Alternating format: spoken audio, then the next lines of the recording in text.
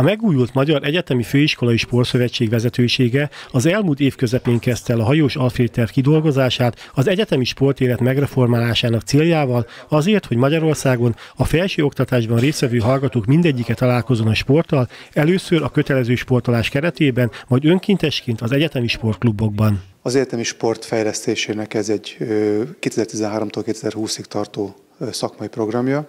Ezen belül a versenysportot és a szabadidősport fejlesztését szeretnénk megvalósítani.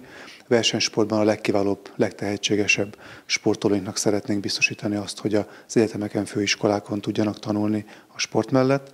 Szabadidősportban meg az az elképzelésünk, hogy a lehető legtöbb hallgató mozogjon legalább kétszer-háromszor egy héten 30-45 percet, egy olyan minimális mozgást bevigyenek az életükbe, amelyel a rekreációs minimumot teljesítik. A tervek megvalósításához megfelelő infrastruktúrális háttérre is szükség van, és ezen a területen még jócskának adnak tennivalók. Nyíregyházán egészen kiváló lehetőségek nyílnak. Fontos lenne, hogy ezeket maximálisan ki tudjuk használni, és a hallgatók javára tudjuk mindenhol hasznosítani. Sajnos ez nem minden egyes intézményben van így. Még olyan intézményünk is van az országban, akinek egyáltalán nincsenek sportlétesítményei. Nyilván ezen a kérdésen nagyon sokat kellene változtatni.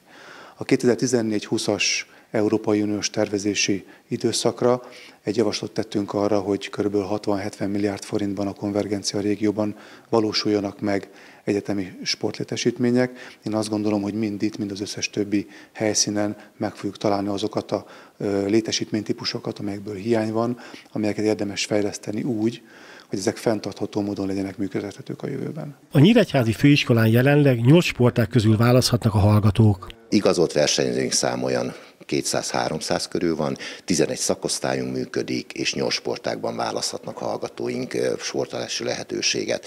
A legnagyobb szakosztály létszámában a szabadidő és turisztikai szakosztály, de gyakorlatilag nem kell ahhoz igazolt versenyzőnek lenni, hogy a Magyar Egyetemi Főiskolai Sportszövetség versenyeire indulhassunk. Egyetlen feltétele az, hogy a hallgató beiratkozott jogviszonyal rendelkezzen főiskolánkon.